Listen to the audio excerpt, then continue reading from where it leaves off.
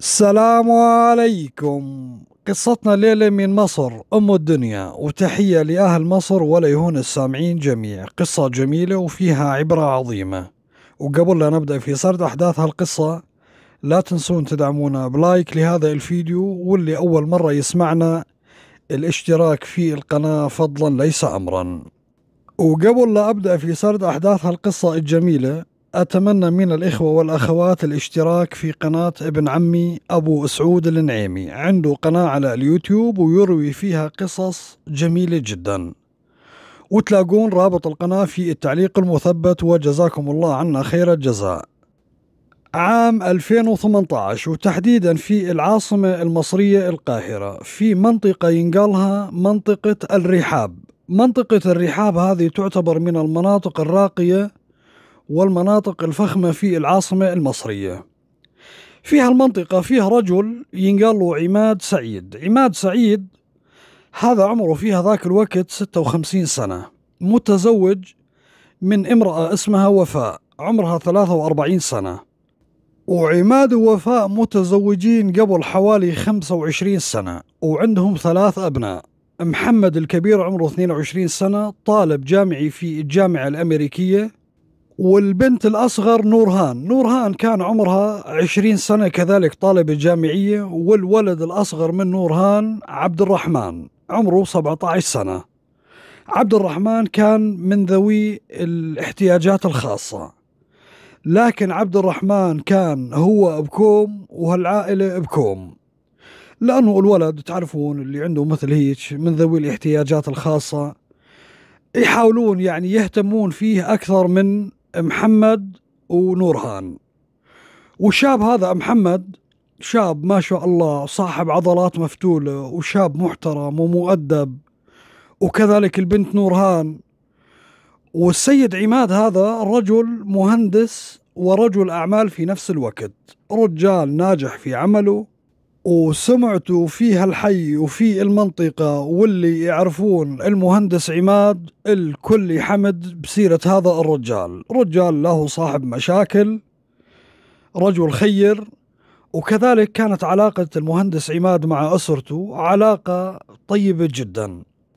وبما أنه هالعائلة ساكنة في منطقة الرحاب واللي تعتبر من أرقى المناطق في العاصمة المصرية فبالتالي نقدر نعرف أنه أحوال هالعائلة المادية فوق الريح لأنه المنطقة هذه ما يقدر يسكنها حي الله حدا. يعني من الناس العاديين أو من الطبقة العادية العمال والفلاحين والكادحين يجب أنه يكون رجل قادر أنه يدفع ثمن الفيلات وحتى بالنسبة للأجار في هالمناطق الأجارات غالية جدا. المهم الجماعة عايشين ببحبوحة مادية وما عندهم أي مشاكل تذكر. وتروح الأيام وتجي الأيام والوضع على هالحال والجماعة عايشين ما عندهم قطعة من الشيطان. محمد في عام 2018 وتحديدا في شهر أبريل شهر نيسان. أواخر شهر نيسان محمد كان عنده امتحانات في الجامعة. والولد يحاول قدر الإمكان يوفق ما بين الدراسة وما بين الجيم أو اللعب في كمال الأجسام، الولد كان يروح على أحد النوادي الرياضية ويلعب رياضة وعنده أصدقاء وأموره يعني ما عنده مشاكل ابدا. المهم هذاك الوقت وفاء أم محمد خايفة على محمد من يعني آه، الخوف والرعب من موضوع الامتحانات وتحاول تأمن له الأجواء المناسبة لا أصوات لا إزعاجات في هالبيت لأجل أنه محمد يقدم هالامتحانات وينجح.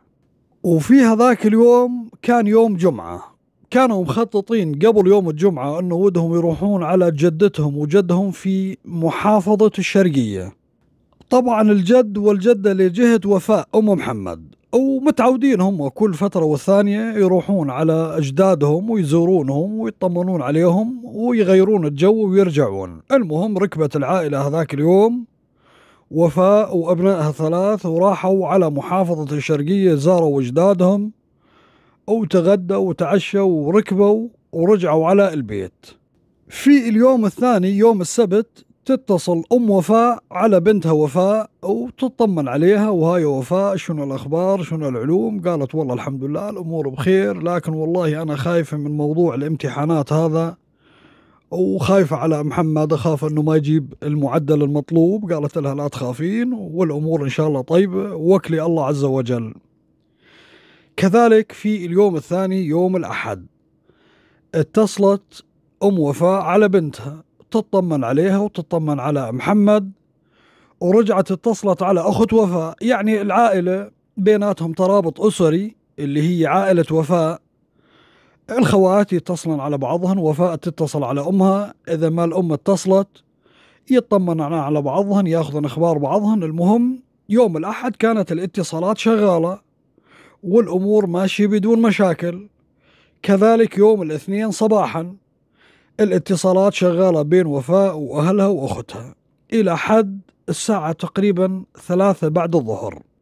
اتصلت أخت وفاء عليها وتطمن على الوضع الأمور هاي وفاء شلون الأمور؟ قالت أبشرك بخير لكن والله تلفوني راح يفضى من الشحن. خليني أحط التلفون على الشاحن. أو أرجع أتصل عليك وكذلك أتصل على أمي. اليوم ما اتصلت عليها والله. قالت أوكي. بعد حوالي ساعة زمان حاولت أم وفاء أنها تتصل على وفاء لكن التليفون كان مغلق. شالت التلفون واتصلت على بنتها الثانية. هاي يا فلانة قاعدة أتصل على وفاء تلفونها مغلق. شنو الموضوع؟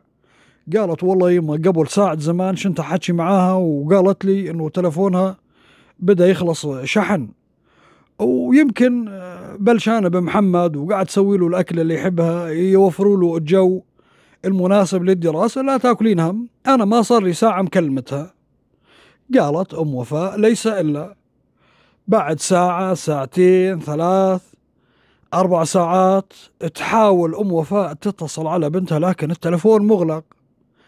قامت اتصلت على زوجها المهندس عماد. كذلك تلفونه مغلق. اتصلت على تلفون نورهان كذلك التلفون مغلق.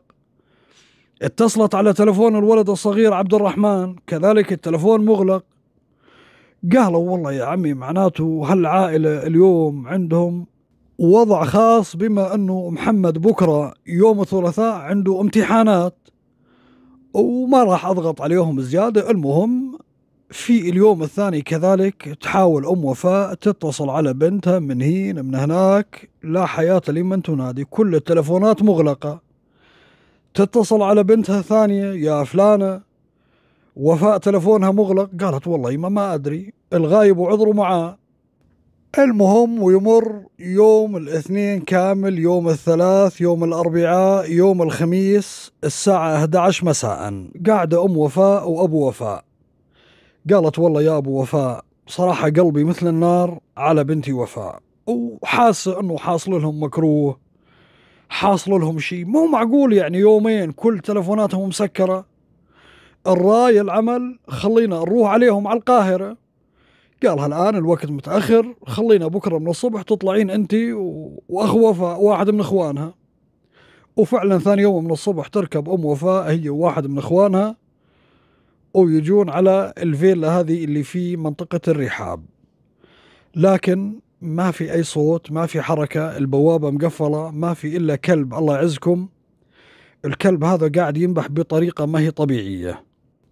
وكذلك سيارة المهندس عماد موجودة داخل سور الفيلا لكن العجلات فارغة من الهواء. مبنشر يعني. وأم وفاء حست الوضع ما هو مضبوط وتقوم تتصل على أبو وفاء. قالت يا أبو وفاء الموضوع كذا وكذا وكذا. لا في ضوء لا في إنارة. يعني بالعادة ينسوا لهم لمبة شغالة على البلكونة. صوت ما فيه وتراني مشتمة رائحة ما هي مضبوطة. لذلك يا معود اركب وتعال خلينا نشوف شنو الموضوع.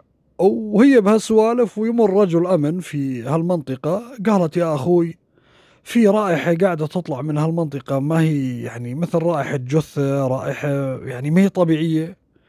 قالها يا خالتي عادي يعني يمكن بس أو قط ولا كلب ميت في في منطقة قريبة يعني وعادي يعني. لكن الأم قلبها ما هو مرتاح المهم وصل أبو وفاء مساء ويروح على مركز الشرطة في الرحاب. السلام عليكم وعليكم السلام. ويقدم بلاغ عن اختفاء عماد وزوجة عماد وأبنائه الثلاث. الجماعة لا يردون على التلفون. ولا هم موجودين في البيت. وصراحة هذه أول مرة يغيبون هالمدة وتلفوناتهم كلها مغلقة. رجال الأمن سجلوا البلاغ وقالوا خلاص أنتوا يعني جماعة كبار في السن وأبو وفاء رجل مريض. وأمها كذلك تعاني من عدة أمراض. قالوا يا جماعة أنتوا اركبوا وروحوا على محافظة الشرقية وإحنا أي شيء يصير معانا نبلغكم أول بأول. وفعلا أبو وفاء وأم وفاء ركبوا السيارة ورجعوا على محافظة الشرقية لكن قلبهم مثل النار. في اليوم الثاني وتنزل أم وفاء كذلك على مركز أمن رحاب. أو منطقة الرحاب. السلام عليكم وعليكم السلام. هيا يا جماعة عثرتوا على طرف خيط آه، بالنسبة لزوج بنتي وبنتي وأبنائها. قالوا والله يا حجة ما لقينا شيء لكن وكالة جماعة طالعين رحلة استجمام وحبوا إنهم يسكرون تلفوناتهم. قالوا يا عمي الولد هذا محمد عنده امتحانات في الجامعة. المهم قالوا لها يا حجي خلاص انت اركبي وروحي. والوقفة هذه ما تناسبك. أو أي شيء يصير معنا كذلك إحنا نبلغكم أول بأول. ركبت أم وفاء ورجعت على الشرقية وقلبها مثل النار على بنتها وعلى هالعائلة. شنو اللي صاير معاهم؟ ما حد عرفان. في صباح اليوم الثاني ويجي اتصال على أبو وفاء. السلام عليكم وعليكم السلام. معاك مركز أمن الرحاب. خير يا جماعة عثرتوا على عائلة بنتي وزوجها. قالوا لازم تجينا على القاهرة مباشرة. يا جماعة شنو الموضوع؟ شنو السالفة؟ في البداية حاولوا إنهم يعني ما يقولون لأبو وفاء إنهم اعثروا على كارثة. لكن بعدين قالوا له بنتك رحمة الله عليها. شلون يا جماعة؟ شنو اللي حصل؟ قالوا اركبوا تعالوا بس تجي تعرف التفاصيل. وتقوم تركب العائلة إخوان وفاء واخواتها وأمها ويركبون على منطقة الرحاب على مركز الأمن. خير يا جماعة شنو الموضوع ولا حاصلة كارثة بالمجزرة في عائلة وفاء؟ بعد خمسة أيام من اختفاء العائلة ولا لهم لا حس ولا خبر بدأت تطلع روائح كريهة من هالفيلا. وبلغوا الجيران وكذلك زملاء محمد في الجامعة وأصدقائه في الجيم في النادي الرياضي. كذلك كانوا مبلغين عن اختفاء محمد إنه ماله بالعادة محمد ما يحضر وكان عنده امتحانات وما يحضر في الجيم. المهم بناء على هالبلاغات الكثيرة هذه قام رجال الأمن جو على الفيلا اللي ساكن فيها المهندس ولما دخلوا على الفيلا ولا قاعدة تطلع منها روائح لا تطاق أبدا. دخلوا على الفيلا ولا يشوفون المناظر اللي ما تتمناها العدو. أول ما دخلوا على الصالة ويلاقون وفاء متلقية طلق ناري في رأسها على الكنب في الصالة. توجهوا إلى المطبخ. الولد محمد كذلك متلقي عدة طلقات نارية ومقتول ويتوجهون كذلك إلى باقي الغرف ويعثرون على الولد عبد الرحمن ذوي الاحتياجات الخاصة. كذلك متمدد في الأرض أمام غرفة أخته نورهان كذلك متعرض إلى طلق ناري. دخلوا إلى غرفة نورهان ولا نورهان كذلك متعرضة إلى طلقة نارية في الرأس في الجبهة وفي الأنف في منتصف الوجه. ودخلوا على غرفة عماد كذلك عماد متعرض إلى ثلاث طلقات نارية. طلقة في الرأس في الجبهة وطلقة في منتصف الوجه. وطلقة في الصدر. وفيه وسادة أو مخدة محطوطة على وجه الرجال واعثروا بجانبه على السرير على مسدس وكذلك مخزن للطلقات. المهم صاير مجزرة فظيعة فيها العائلة. لكن منو اللي ارتكب المجزرة هذه؟ ومنو اللي له مصلحة يقتل هالعائلة بالطريقة الفظيعة هذه؟ المهم حضر الطب الشرعي والبحث الجنائي وقامت الدنيا وما قعدت في منطقة الرحاب. أو ينتشر الخبر في الصحف والمجلات والتلفزيونات ويا بنت قولي لأمك اعثروا على عائلة المهندس عماد وعائلته مقتولين بطلقات نارية. المهم بدأ رجال الأمن التحقيق واستجواب الجيران الأصدقاء كل من يعني له علاقات مع عائلة عماد. وتبين من خلال الخبرة الجنائية أنه العائلة كلها يعني مقتولة بطريقة شبه موحدة. الطلقات في الجبهة ومنتصف الوجه في الأنف والأمر الآخر أنهم مقتولين في مكان وبعدين محركينهم بعد القتل متحركين إلى مكان آخر. وكذلك اعثروا على الفوارغ اللي عددها 11 فارغة. وبدت الإشاعات والناس تسولف ورجال الأمن يحققون في وضع هذا الرجل اللي على أساس ما عنده مشاكل. ومن هين ومن هناك تبين في عدة أمور غامضة في حياة هذا الرجل عماد.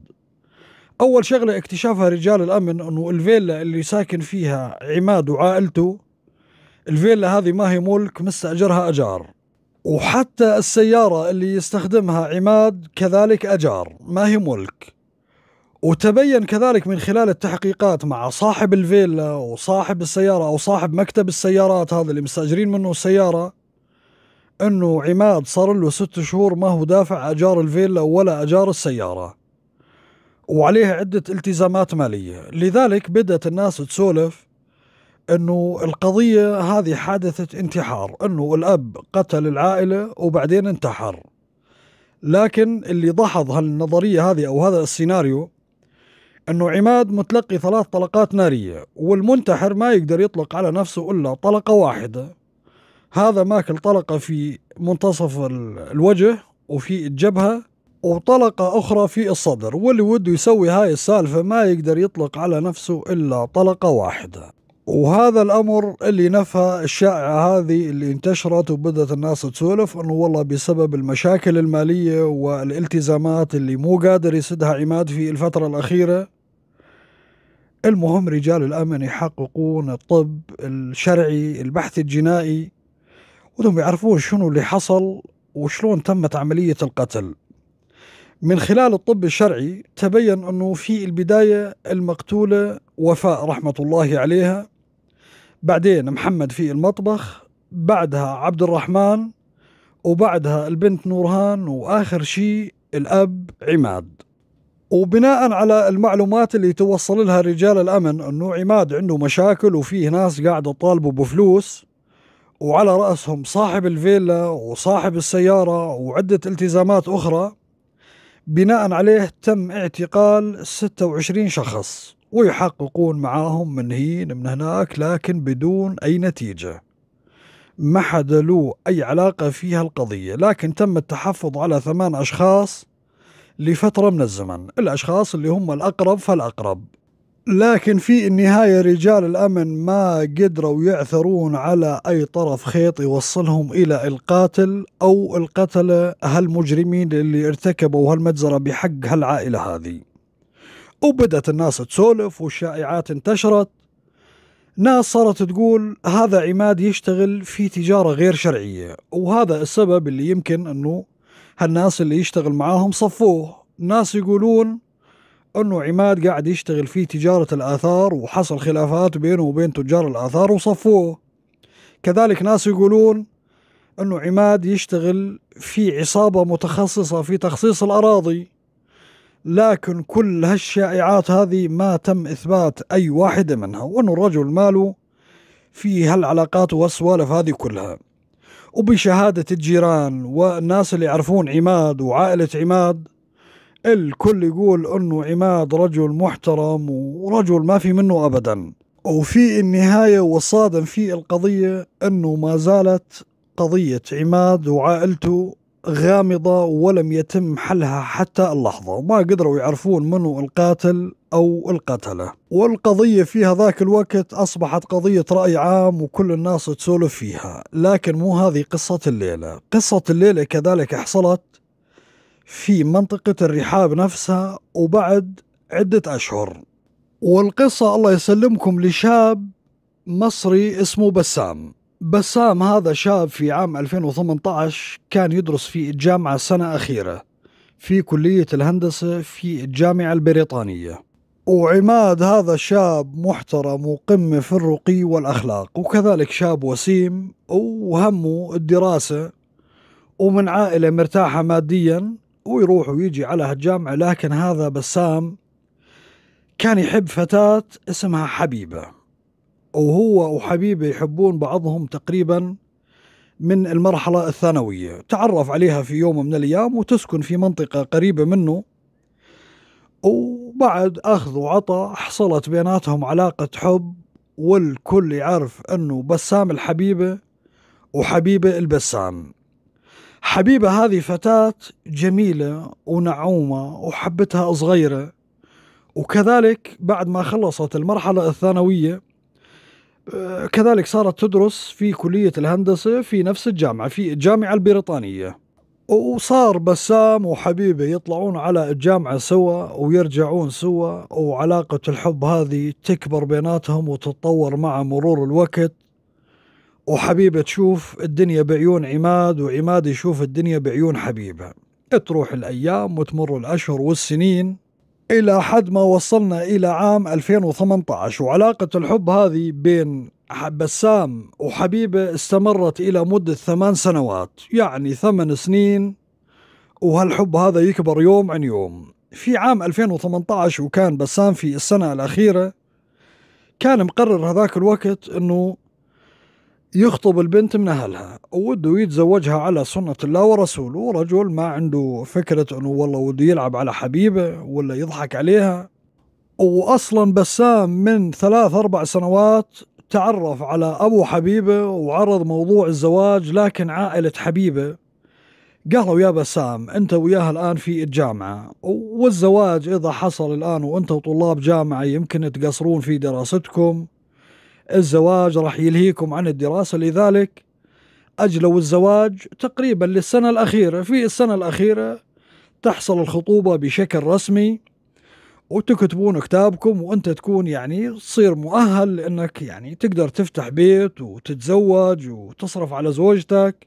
وبسام ما عارض هذا الموضوع. قال نعم فكرة ممتازة. الآن ممكن يعني الزواج ولا الارتباط هذا ممكن يسوي لنا مشاكل ممكن يخلينا نقصر في الدراسة. ما عندي مشكلة أبدا.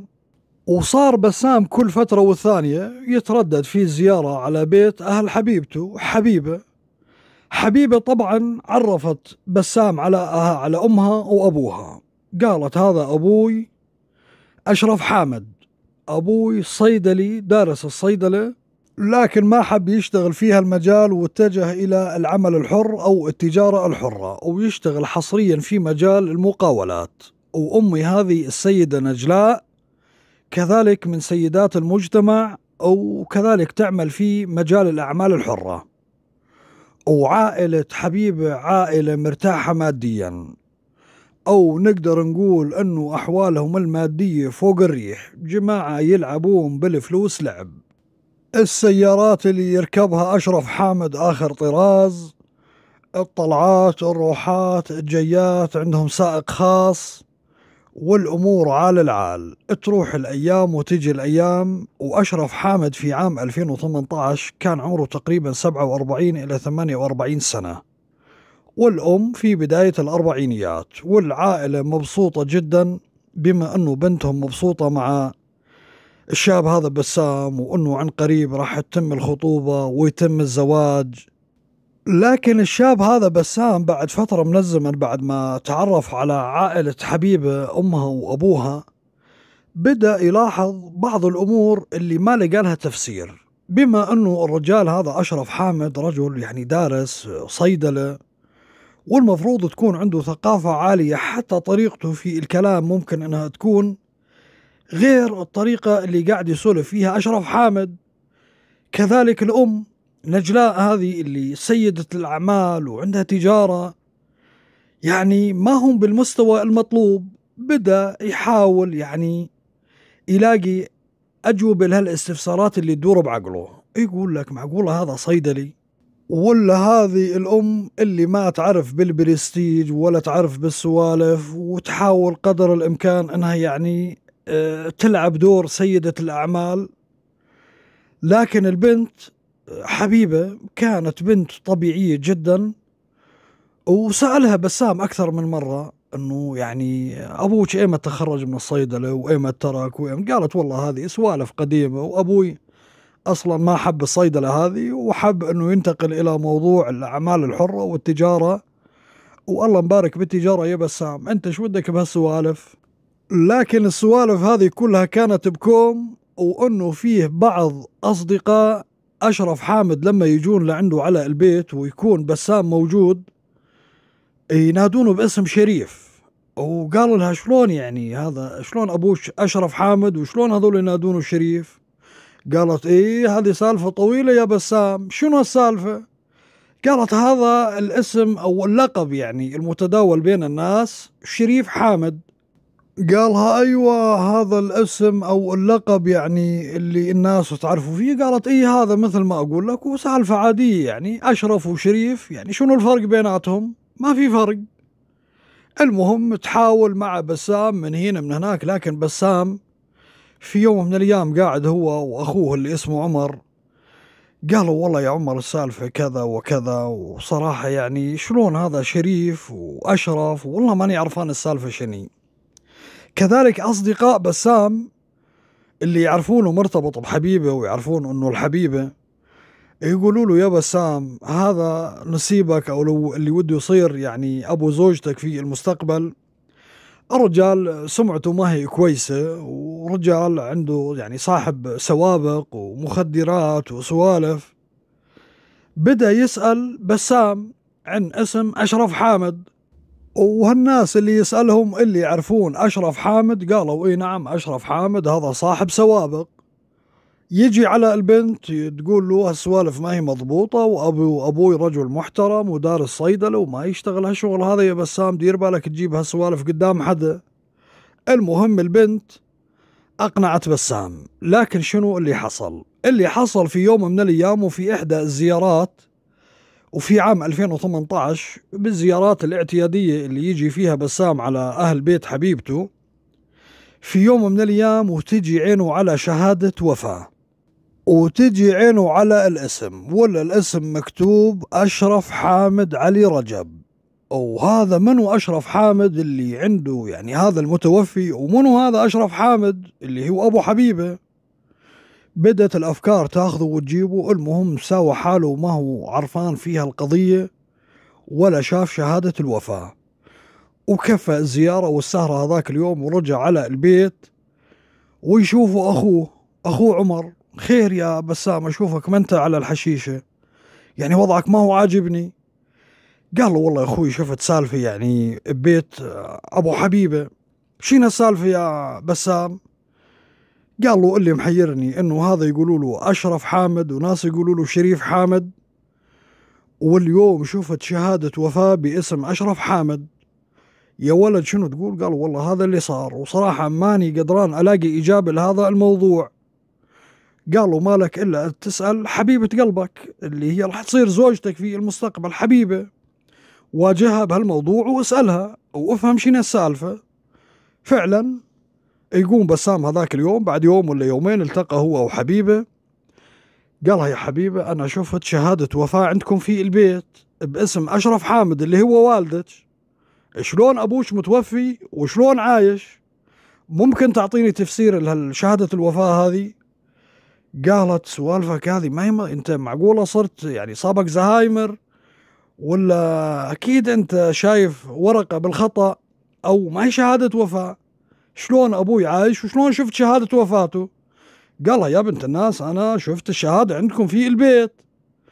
قالت مستحيل أكيد أنت صار عندك تخيلات وتهيؤات.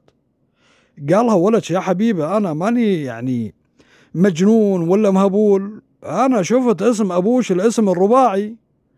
قالت اترك عنك هالسوالف وأكيد أنت متهيئ لك شيء المهم الولد هذا صار يشك بنفسه لكن يرجع يعني يتذكر. يعني مستحيل شاف الشهادة بعينه. المهم غض نظر عن هالموضوع وبدأ صار يعني يسأل أكثر فأكثر عن أشرف حامد. وبالفعل تبين له إنه أشرف حامد هذا رجال مقطع موصل بالإضافة إلى الأصدقاء والمحبين ينصحونه يا بسام انت يعني في يوم من الأيام هذا راح يصير ابو زوجتك وسمعته ما هي كويسة لكن الرجال شاف شهادة وفاة هذا الرجل بعينه. يعني سالفة تحط العقل بالكف. المهم مالكم بالطويلة. تروح الأيام وتجي الأيام إلى شهر رمضان عام 2018 وفي هذاك الوقت كانوا يعني بدأوا يحضرون لموضوع الخطوبة والزواج. وكانت الشقة هي العثرة الرئيسية أمام بسام. وحتى أنه في الفترة الأخيرة صارت تحصل بعض المشاكل بين بسام وبين حبيبة. وحبيبة تقول أنت ما عدت بسام الأولي ما عاد تهتم فيني ما عاد تدير بالك علي إذا زعلت وإذا أرضيت. وما أنت بسام اللي أعرفه من قبل. يقولها معليش الظروف والضغوط ويعني ضغوط هالحياة. والتوتر اللي صايبني فيه الفترة الأخيرة وقاعدين نبحث على شقة. وفي هذاك اليوم تتصل حبيبة على حبيب قلبها بسام. كيفك يا بسام؟ شو الأخبار؟ قالها بشرش بخير؟ قالت ودنا نلتقي أنا وياك. وأبوها شريف حامد قاعد بجانبها. قال لها قولي له يا بسام أبوي محضر لك مفاجأة هدية العيد. والكلام هذا يوم وقفة عيد رمضان قبل العيد بيوم. قالت أبوي محضر لك هدية وحضر نفسك. وين اللقاء؟ وين الموعد؟ قالت ما عليك أنت تعال إلى المكان الفلاني إلى مكان معين بيناتهم. والسايق يجي يوصلني أنا وياك ونفرجيك المفاجأة.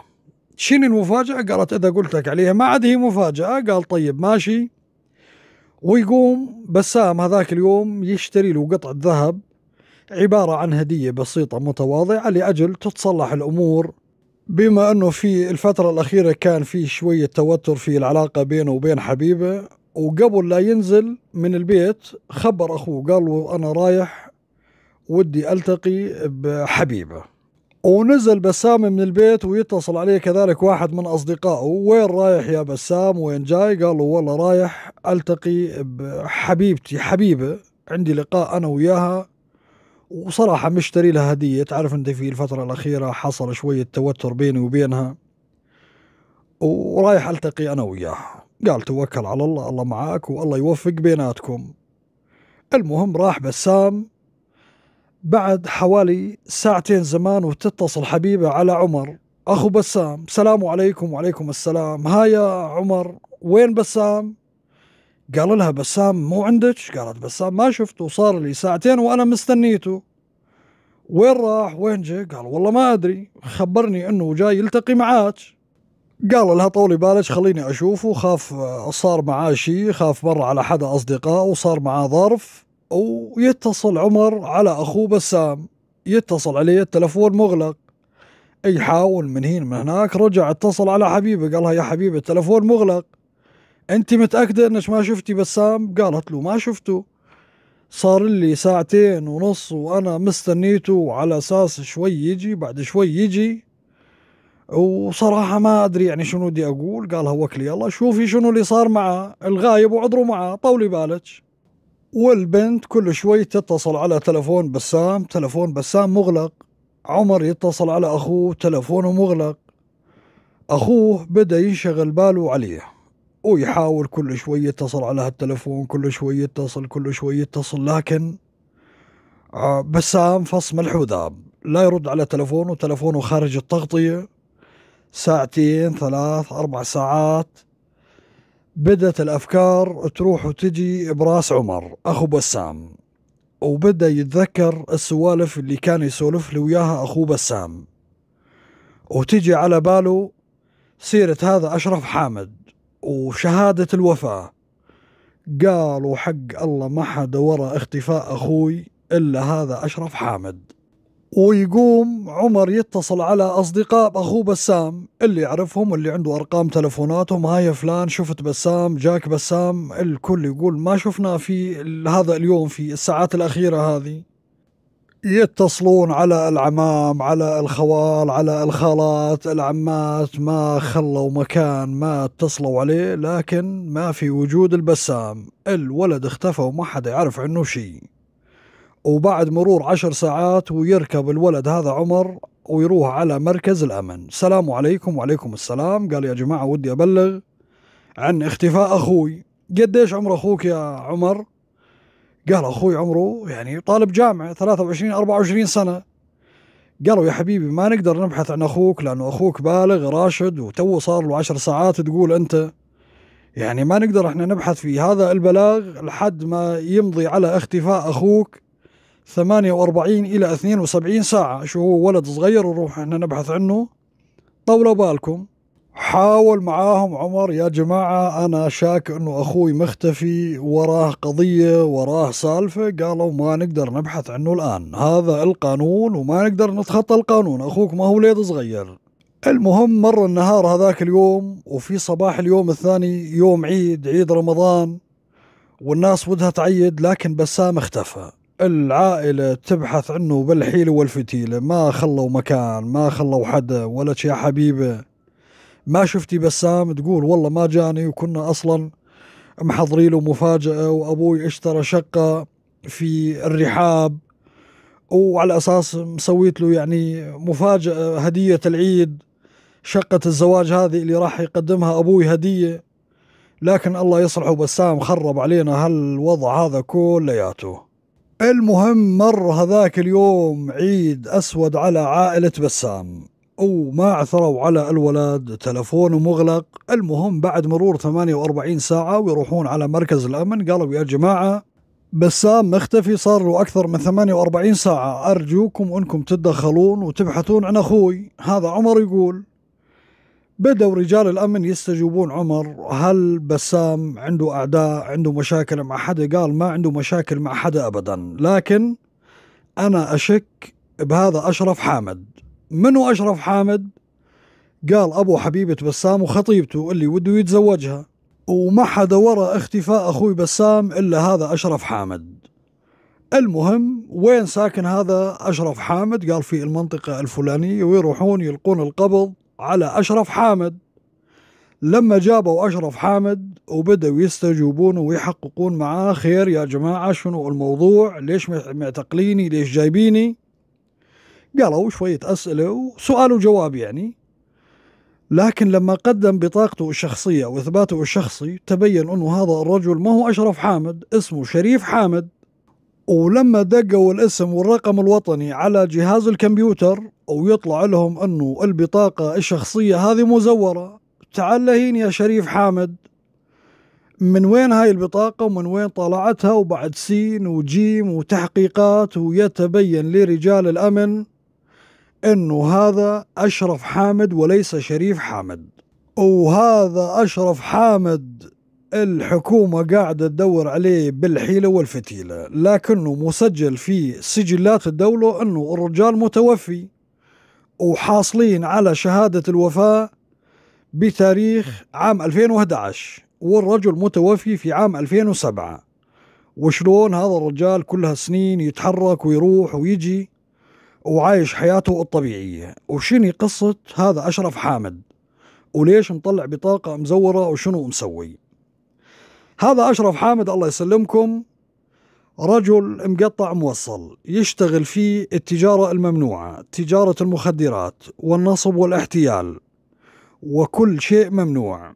وهذا عليه حكم صادر بحقه عام 2008 في قضية مخدرات. أو الإتجار بالمخدرات وهذا الحكم اللي صادر بحقه بالسجن لمدة 25 سنة. وكذلك عليه قضية بتهمة التزوير بالسجن لمدة 15 سنة عام 2016 يعني الرجال عليه أحكام بأربعين سنة. المهم يحاولون يحاولون معاه وين بسام وين خذيت بسام شنو اللي صار؟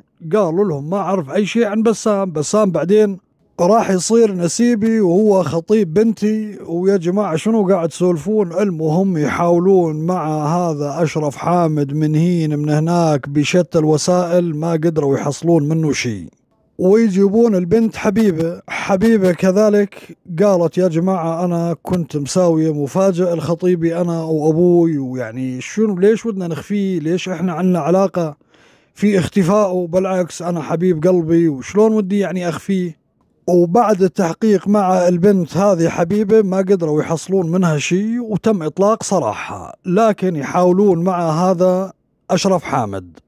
ويتبين لرجال الأمن أو البحث الجنائي أنه هذا أشرف حامد مزور البطاقة الشخصية ومزور شهادة الوفاة بما أنه الرجل مطلوب في أكثر من قضية ومحكوم بالمؤبد اللي هو 25 سنة والحكم الصادر بحقه في إحدى القضايا بعام 2016 وعثروا كذلك على عدة بطاقات شخصية مزورة بأسماء أخرى وحسابات بنكية وأمور إلها أول ما لها آخر. يحاولون معاه من هين من هناك يا أشرف. يطولك يقصرك يا ولد وين بسام؟ يقولوا لهم لا شفته ولا أدري عنه شيء.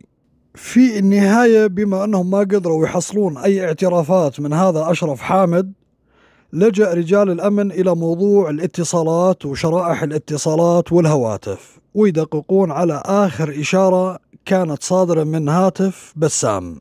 ويتبين الموقع اللي واصل له آخر شيء بسام وبالمقارنة بين اتصالاته واتصالات حبيبة تبين أنه آخر اتصال كان معاها هذاك اليوم والإشارة الأخيرة كانوا في نفس المكان. ويرجعون يتصلون على حبيبة حبيبة طلع تلفونها مسكر خارج التغطية راحوا على البيت ما لقوها يدورون عليها في كل مكان. البنت فص ملح وذاب هي وأمها. وعرف الآن رجال الأمن أنه البنت إلها علاقة أو تعرف وين اختفى بسام لأنه آخر لقاء أو آخر إشارة صادرة من هاتفه كانت هي وياه في نفس المكان. المهم رجال الأمن ويمسكون السائق الخاص اللي عند عائلة أشرف حامد. هذا السائق شاب من الجنسية السورية. امسكوه وجابوه. بما أنه هو السائق الخاص وهو اللي يودي البنت ويأخذها ويجيبها. وبالضغط على هذا الشاب ويقوم يعترف هذاك اليوم قال لهم إي نعم أنا جبت حبيبة وجبت بسام إلى هذا المكان. لكن ما أدري شنو اللي صار بعدين. دخلوا على الشقة هذه وأنا صراحة ما أعرف شنو اللي صار.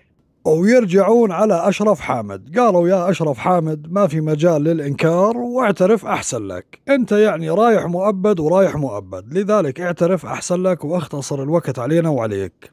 وأشرف حامد في هالحالة شاف لابد من الاعتراف وبعد ما حصروه بالأدلة والبراهين ويعترف بالجريمة الفظيعة اللي ارتكبها بحق بسام. وكان مار على اختفاء بسام تقريبا ثمانية أيام. القصة الله يسلمكم أنه هذاك اليوم هذا أشرف حامد مشتري شقة في منطقة الرحاب والمنطقة هذه اللي كان مخطط مسبقا لأنها تكون مقبرة البسام.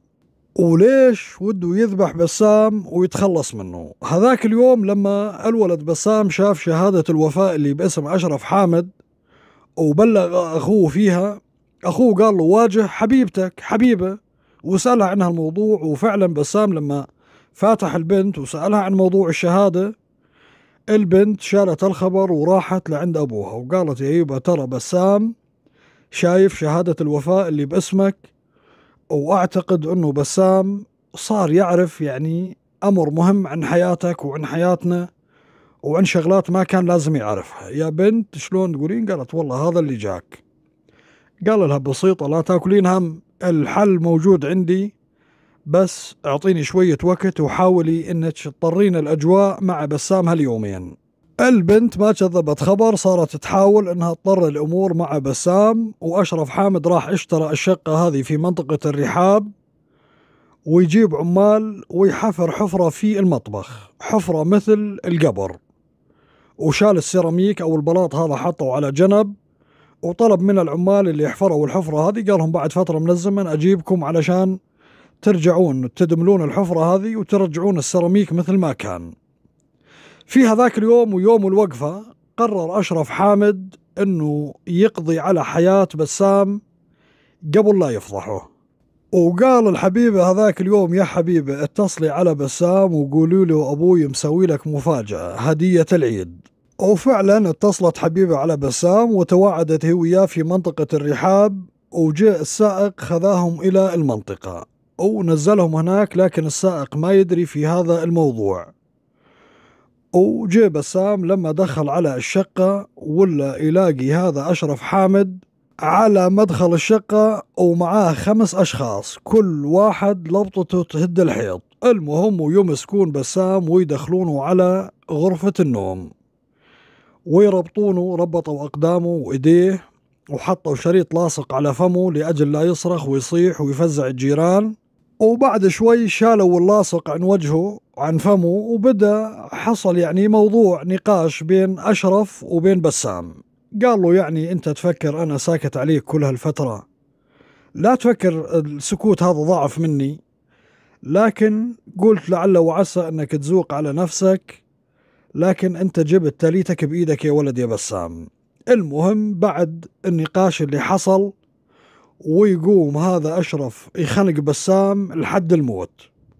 بعد ما تأكد من الموت ويقومون يشيلونه ويحطونه بالحفرة هذه اللي مسوينها في المطبخ وحطوا بسام بثيابه مثل ما هو مربط ودفنوه فيها الحفرة وهذا أشرف حامد كان مستوحي فكرة من فيلم سعاد حسني في فيلم اسمه الجريمة الضاحكة.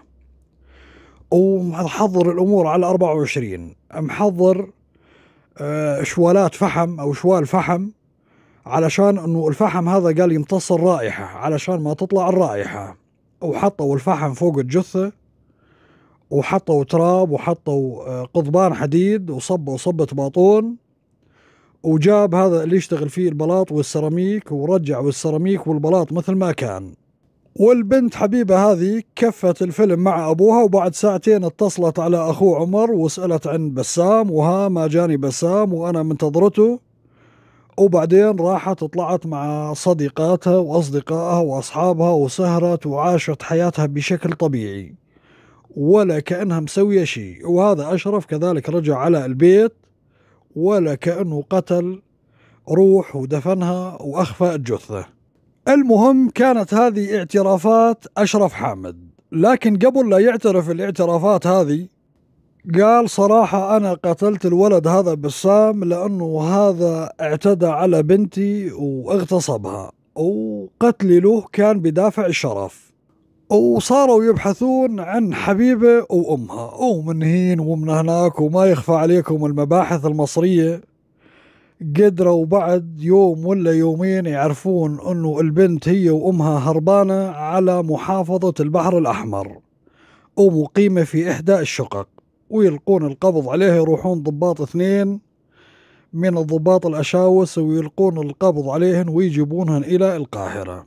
وبناء على الاعترافات الأولية الاشرف إنه بسام اعتدى على بنته حولوا البنت للطب الشرعي وتبين إنه البنت ما هي متعرضة لا لاعتداء ولا عليها آثار عنف ولا اغتصاب ولا في منها السوالف ابدا. وبعد مواجهته بالأدلة والبراهين اعترف بهالجريمه الفظيعة اللي سواها والقضية أصبحت قضية رأي عام والناس تسولف فيها وتطالب بإعدام هذا أشرف حامد.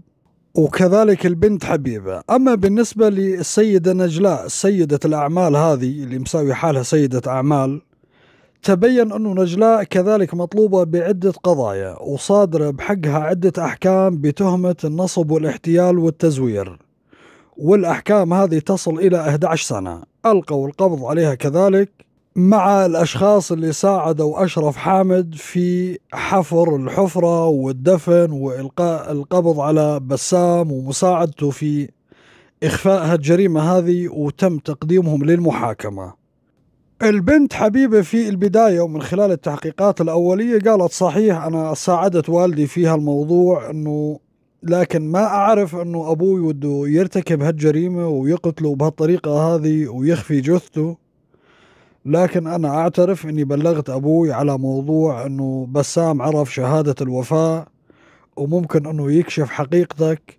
وفعلا أنا ساعدت والدي في استدراجه وجبته إلى هالشقة لكن ما أدري أنه هذا اللي راح يصير. المهم بالنسبة لأشرف حامد أشرف حامد قال أنا قتلت الولد هذا لأنه صار يبتزني في المرحلة الأخيرة أنه وده فلوس وده رغم أنه بسام رحمة الله عليه أحوالهم المادية مرتاحة وجماعة ما هم بحاجة فلوس لكن سبب القتل الرئيسي إنه خاف على نفسه إنه هذا بسام راح يكشفه بيوم من الأيام.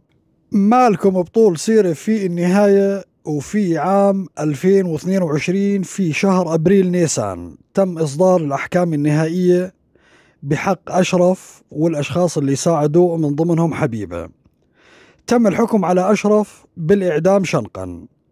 وعلى حبيبه بالسجن المؤبد 25 سنة. وعلى الأشخاص اللي شاركوا معاه الخمسة تتراوح الأحكام ما بين السجن المشدد لمدة خمسة إلى عشر سنوات. كل واحد حسب الدور اللي قام فيه. وبهذا يكون تم إسدال الستار على قضية بسام رحمة الله عليه وكانت هذه نهاية القصة. وراح أترك لكم اعترافات أشرف حامد على حسابي على الإنستغرام اللي راح تلاقون رابط الإنستغرام في التعليق المثبت اللي يحب يشوف اعترافات القاتل والمجرم أشرف حامد. وفي النهاية القصة مليئة بالعبر اللي نستخلصها من خلال أحداث ومجريات هالقصة. في النهاية لا تنسونا من اللايك والاشتراك بارك الله فيكم. وكذلك لا تنسون زيارة قناة ولد عمي أبو سعود النعيمي بارك الله فيكم. سبحانك اللهم وبحمدك أشهد أن لا إله إلا أنت أستغفرك وأتوب إليك. دمتم في رعاية الله وحفظه.